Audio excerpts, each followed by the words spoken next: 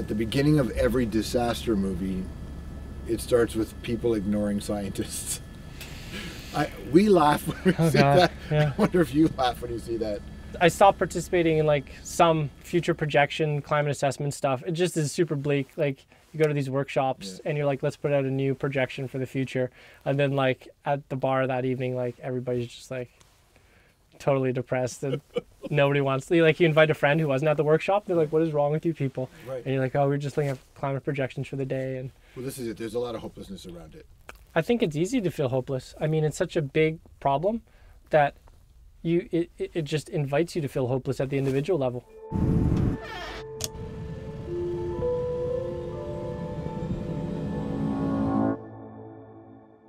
No doubt you've heard about Greenland in the climate change conversation. Mostly it's because of the melting ice sheet and that's impact on global sea level rises. And if you were to come here, you would see lots of markers of the destructive forces that we have unleashed with climate change. So I want to show you something crevasses. Crevasses are these big, compelling canyons that have opened up in the ice. And yes, they are beautiful to look at, but here's the thing scientists say they think these canyons have opened up in the last 20 years, and they're opening up more than 100 kilometers into the ice sheet. That is a scary headline because it talks about the ice sheet's response to climate change. It's one thing to hear about them, one thing to read about them. I want you to see them. Come with me as we go to the ice sheet.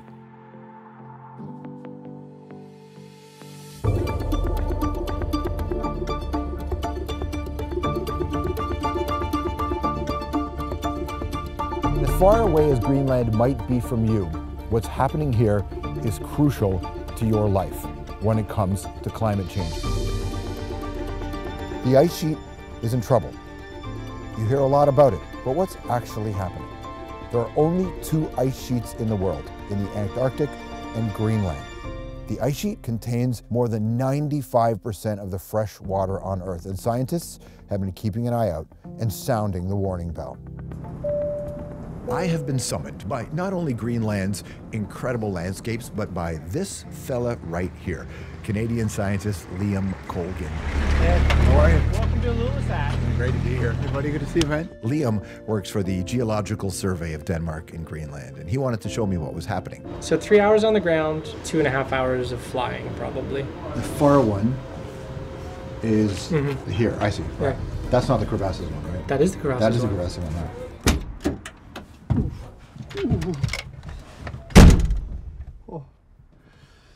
It's a warm day down here. It's supposed to be minus 20 at the crevasse field.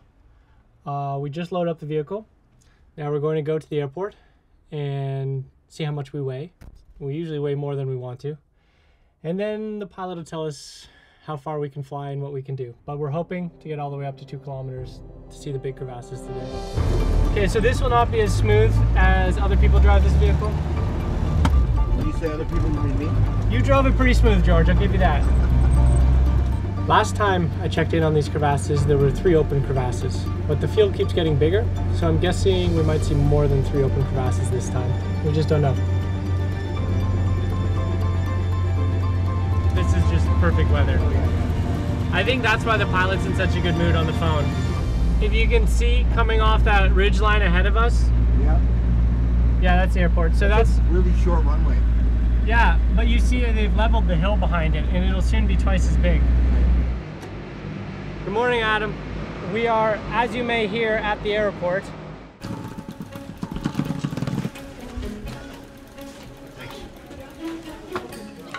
Which way, that door or this door? Alrighty, here we go. You're going to one of the most beautiful places on the planet. It's going to be a hell of an adventure. Come on. Good morning from Oscar in Kyoto Golf Tango. We're going to try to go really far inland to visit our crevasse field now. It's about 150 kilometers from the airport, but hopefully the winds are on our side and we'll get to see our crevasse field and we'll be working on it over lunch.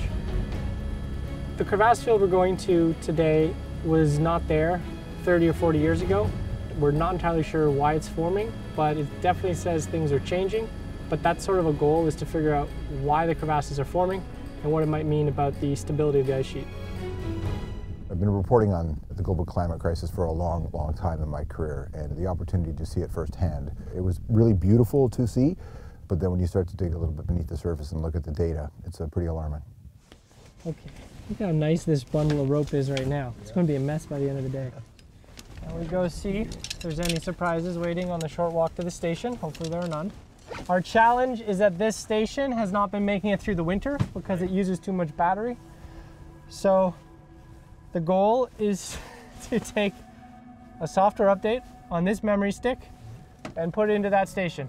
So at each station we visit, Liam is helping the Geological Survey collect vital data about the condition of the ice sheet. There we go.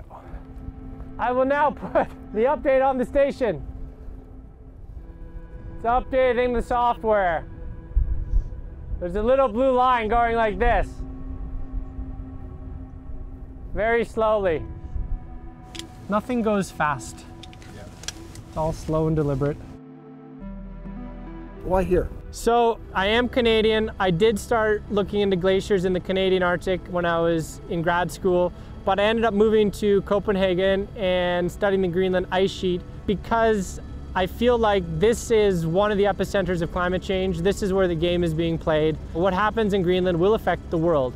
There are crevasses here, and crevasses on the ice sheet are mighty dangerous. Lives have been lost. So in this location, I'm staying in the helicopter with pilot Adam and Anders, who is shooting this footage. I'll go out and I'll come back. So at this site, only Liam is allowed out for safety reasons, and he must be tethered to the helicopter. The pole went down a little farther than it should have on that last one. We'll see what it is. Oh, there's uh, something that's very deep at that spot there. There's a level of change happening here that is very concerning. Crevasses that weren't there a couple of decades ago, and they're big, and there's a bunch of them. It's another place where you're getting a sign that something is wrong. It's another marker. So, when we arrived, everything was working fine, but now the ice temperature sensors are not working, and I don't know why. So I'm going to call our friendly technician Jakob. Even in the Arctic, he has to call IT.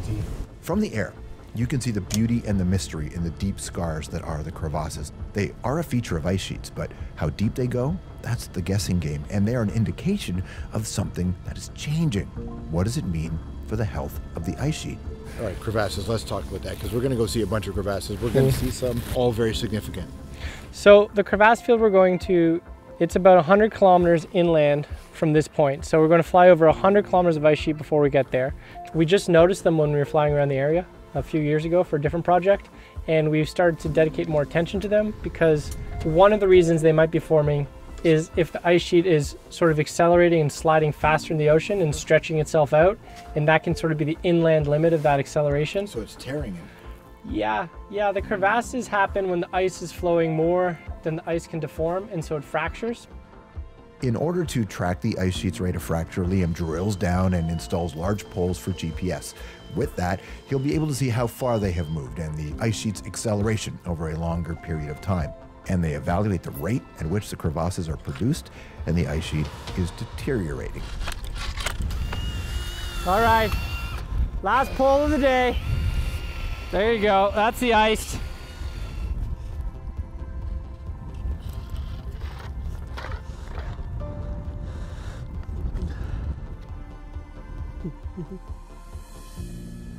Now, before we head back to Ilulissat, Liam and I stop here at the ice sheet's margin to see another indication of rapid climate change. So we can see rock here.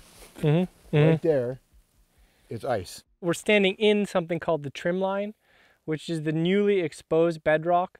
So just 100 years ago, the ice sheet margin would have actually been more than 10 kilometers west of us.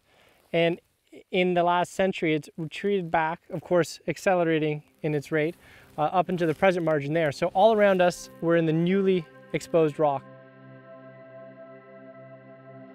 This ice sheet is really important. What happens here affects the rest of the world. This is ground zero for climate change in many respects.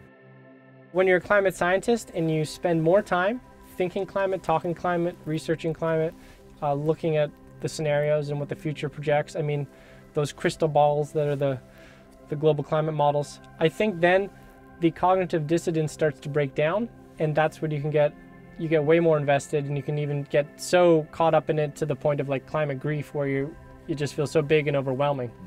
So you're here studying this. You've been here for a while, and you know that getting the word out about climate change has been Mm-hmm. hyper politicized. Uh, you're fighting this enormous, not just a misinformation campaign, but a disinformation campaign. How do you talk to people about climate when you know there are so many climate deniers out there? It's tough. Most people will acknowledge that climate change is happening, mm-hmm.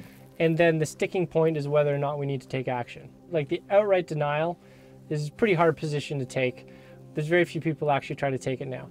We have the Paris Agreement, which is nice in principle, but in practice, it's not screwing down our emissions uh, the way we, we need it to. I do take some comfort and some hope in things like litigate to mitigate with activist shareholders sort of Expecting more from their companies. expecting more from their companies and you know really holding them to account that they can't count on fossil fuel reserves in the ground as a bankable asset for example i also take some comfort and hope in things like divestment campaigns um, consumer activism so you know i see a lot of good grassroots potential bottom up which i think will really complement the top down paris agreement stuff I travel all around the world trying to raise awareness Yep. for this kind of stuff, but I travel all around the world in planes, Mhm. and, it, and then and that's something that gets thrown back at me quite rightly. it is a challenge that we are climate scientists, but we use helicopters and high carbon activities to do our climate science. And it can be tough to justify that and rationalize that. So when it comes to flying, jet shaming is huge. And climate scientists, it's pretty easy to get haters being like, ah, you flew to that workshop and you wear plastic something or other. You're you're a petro baby. Yeah. And like you do get those. You do get those. Is that a thing, Petro baby? I just made that up. It's but a like thing now. but I have to live in a world where I feel like we can still do all of our activities, but hopefully be moving towards a smarter and more climate friendly way of doing those activities, guided by some of the research we're doing. But I think it's fine to be critical and ask questions about if we're using the carbon footprint the best way possible, where are there alternatives, and where can we decarbonize. the other thing uh, here is that human innovation will figure it out. when you look at the paths forward, generally there's some sort of like techno savvy, low emissions pathway. Think of it as a Star Trek world where we all cooperate, we all share resources, and yeah, we innovate our way out of it. And then on the other hand, we have a Mad Max type world where if we don't share resources, we don't cooperate, we just fight over everything, there is no common solution, and the world just gets warmer and societies just start to uh, go at each other. Look, there's no question that climate change is affecting our world, and this visit to Greenland uh, helps to give me a first hand perspective. And right now, Greenland's ice sheet is on average currently losing about 9,000 tons of ice per second, day in, day out, throughout the year. Greenland's ice alone is responsible for 17% of all global sea level rise. And for those still unsure about climate change and want to get into a debate about it, think about this. You can't negotiate the melting point of ice or the general physics of the greenhouse effect. Opinions aren't really the key there. The key is understanding the science. Greenland and her big sister Antarctica are poised to reshape our coastlines whether we like it or not. We need to pay attention to them before it's too late.